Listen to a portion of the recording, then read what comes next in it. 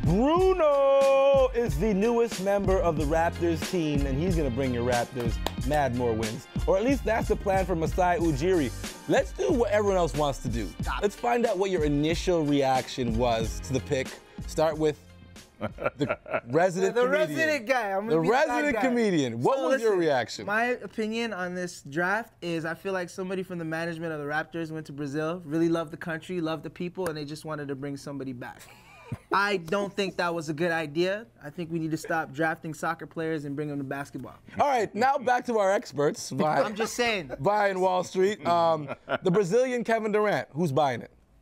I can't buy it simply because I don't have enough information, to be honest. So I'm kind of like what Jalen Rose said last night. Didn't he- Based on the grainy VSH type footage, No, not a whole lot to Really, go by. like, it was like You, you guys are laughing. I actually thought that was my footage from when I played in Brazil back in the 90s. Hey guys, let's So- be nice here, man. We Raptor fans over Man, here. no, Y'all listen, get me you fired. can't base it off of that footage, though. You can't see anything. I mean, I don't really have a, an opinion whether or not he's a good pick. Yeah. I thought they should have picked it, you know, Shabazz. I can't evaluate his talent. I don't know. the I will kid. say this money. about M- Masai Ujiri, that he's been a wizard Yes. as far as getting rid of albatross contracts. You saw what he did with uh, Melo in Denver. You saw what he did with Bargnani and Rudy Gay here to produce a 49-win team.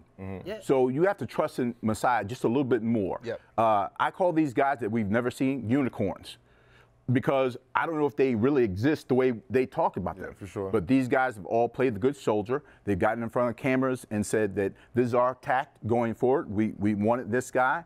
Uh, Tyler was our A, A plan.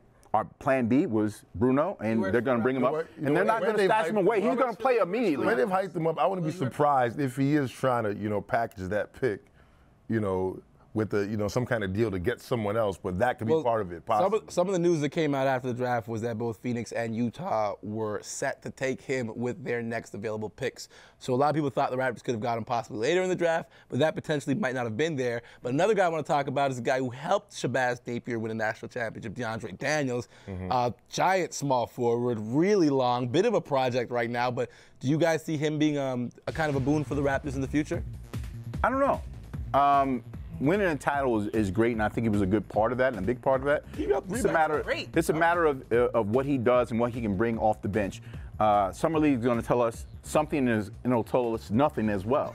Yeah. You know what Summer League is. You know what it is. Anthony Randolph was a Summer League MVP, so it'll tell you a, a lot of things. But if he comes out, he plays hard, he's smart, and he makes the roster, he could uh, provide something off the bench for the Raptors. All right, well, listen, we just finished wrapping up the Toronto Raptor talk. We got to talk about all the other good stuff going on in free agency around the league.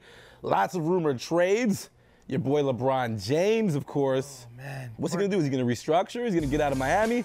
We have lots to talk, and we got good people to talk about it with, except Blake's still here. No, I'm still But here. we will be back on Can't Play It, Blake. We'll be back on Canada's Home for Talking Hoops and your favorite show.